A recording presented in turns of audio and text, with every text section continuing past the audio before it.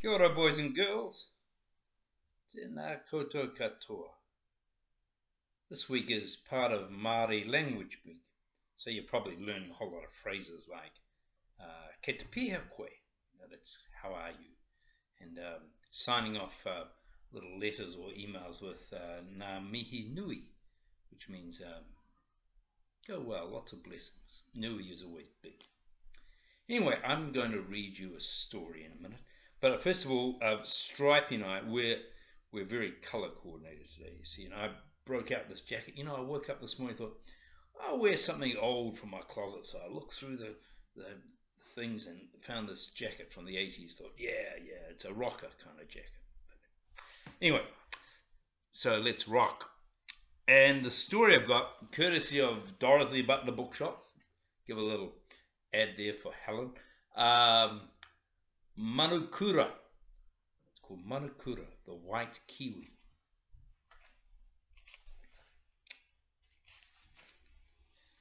Kia ora, tamariki ma. My name is Manukura, which means the chiefly one. And my home is Pukaha, Pukaha, Mount Bruce. My guardians are two noble kiwi, Ngāti Manuhiri in the north and Rangitane in the Wairarapa. People see me as a treasure, a tohu or special sign of new beginnings. Come closer, Tamariki, and I'll tell you why. There's the little white kiwi. Behind my story is another story. Let us start at the beginning. If you roll back time, you'll find that our land, Aotearoa, was full of kiwi. Then came the enemies, the dogs, the ferrets, the stoats, boo hiss, the fires that cleared the forest. The kiwi are becoming extinct. How can they be saved? And there's a picture.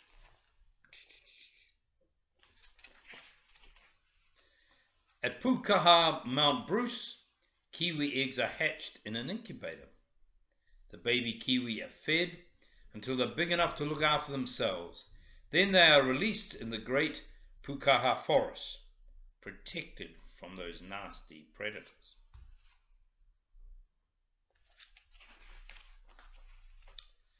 With the help of Ngāti Manuhiri, Manuhiri is a bird, also known as people who um, are visitors, Manuhiri.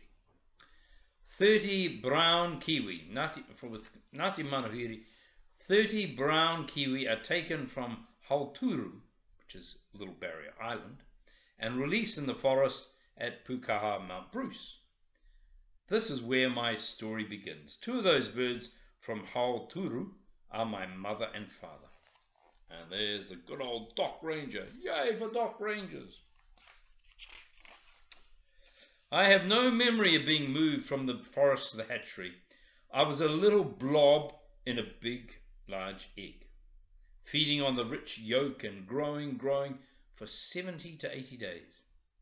On the outside, my shell looked all the others, looked like all the others. No one at the hatchery knew what was happening inside. And there's the egg. Da da da dum. It's May 2011. 12 eggs are hatched all North Island brown kiwi. I am number 13. Lucky 13. Tap, tap. The end of my beak is strong for making a hole in a hard shell. Tap, tap, tap. And there's the hole. Ranger Darren thinks he can see a white feather in the hole. He knows that the kiwi on Hauturu, Little Barrier Island, sometimes have a white feather in their brown plumage. But I have a bigger surprise for him. And there's Darren, our man Darren. Oh, my feathers are snowy white. Ha ha ha! And there's the little white kiwi. No, I am not an albino, a creature lacking colour. I am the rarest of birds, a pure white kiwi. My feathers are like snow, like sea foam on the shore like moonlight on the land. I am a girl, and I've come with a message. Jason of Rangitane says, Every now and then something extraordinary comes along to remind us how special life is. It's a very nice message, isn't it? And there's Jason of Rangitane. How special life is. Here at the sanctuary, I get visitors from distant lands, well, before COVID. The world is eager to know about me, and I'm happy to spend my days with my brown feathered friend Potiki, who is number 14. She too is special. And there they are at the visitor centre. So, so are you, Tamariki? Think how special you are. Tamariki is children. Ever since this world began, there's never been a person exactly the same as you, and never will be again. Manukura, the white kiwi, comes to remind you that you too are a taonga, treasure, and the world is made better by that unique treasure you are. There you are. You're a treasure just like this little white kiwi.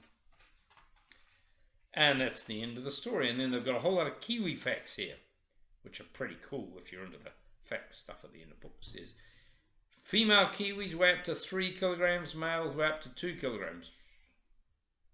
Females are heavy duty, man. Females are bigger to accommodate the big egg. A kiwi egg takes up 20% of the female's body. Next fun fact. Manukura weigh 280 grams at hatch. Potiki weighed 340 grams at hatch. The hatch weight is usually 320 to 350 grams. Fun fact 3. The hatchling, nourished with the yolk, does not eat for about 5 days and is then fed a special captive diet. The young kiwi have worms and insects, yum, yum, topped up with oxheart, vegetables, bananas, and other nutrients. How about that? No donuts. No McDonald's. Fun fact four, it takes up six months for a juvenile kiwi to really to reach the released weight of 1.2 kilograms. Female kiwi are generally more aggressive than males, mm-hmm. and being larger, harder to handle. Kiwi reach breeding age, that's when they can have babies, at two to three years. And kiwis live for approximately 30 years. And there's some photos from the Pukaha Mount Bruce Sanctuary. Well, that was fun, wasn't it? You have a lovely week. See you later. Bye.